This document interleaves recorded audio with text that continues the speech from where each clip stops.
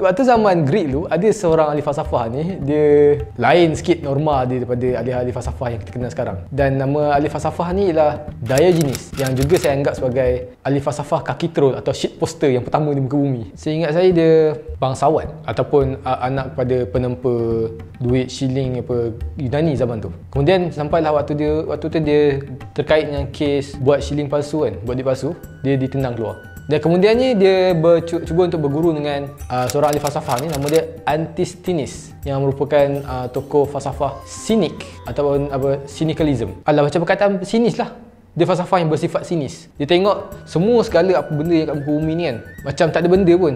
Macam dia, dia orang bersifat sinis lah. Jadi tindakan ahli, ahli yang sinik ni, mereka akan cuba membogelkan diri mereka daripada segala jenis harta benda dan segalanya lah. Dan itulah apa yang si Diogenes ni cuba buat. Tapi masalahnya waktu dia cuba nak jadi anak murid pada Antisthenes ni, dia kena halau sampai tahap kena katuk kepala. Oh belah belah tak nak tak nak murid. Tapi lama jadilah anak murid. Dan sebagaimana ahli sinik lain, uh, Diogenes ni juga membogelkan diri daripada segala jenis harta benda secara literalnya. Sebab rumah dia ialah bekas arak.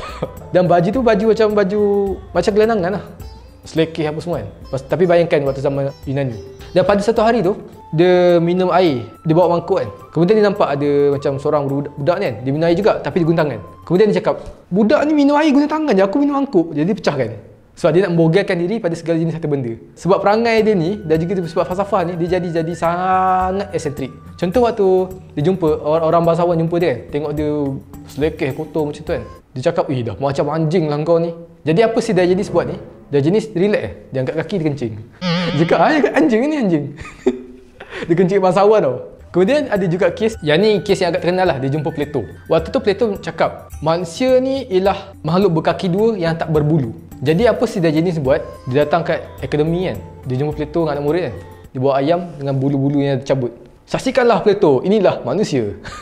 Jadi sebab dia cakap, manusia ialah entiti yang berjalan, entiti yang tiada bulu pelepahan dan berjalan uh, dua kaki. Jadi selepas benda kes tu, Plato terus tukar definisi manusia kepada entiti yang tak berbulu pelepah, berjalan dua kaki dan berkuku rata.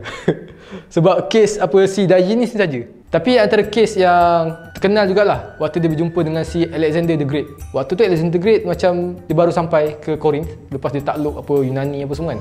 Dia kata dia nak jumpa dengan Diogenes ni yang katanya orang yang sangat terkenal, sangat berilmu. Kemudian dia datang jumpa Diogenes. Diogenes, Akulah raja segala jenis alam. Kamu nak apa pada aku? Aku akan tunaikan segala-galanya. Waktu tu dia jenis tengah melepak tau dekat dalam uh, bekas arak dia. Dia cakap, ha, ha boleh boleh. Kau tepi sikit aku tengah berjemur.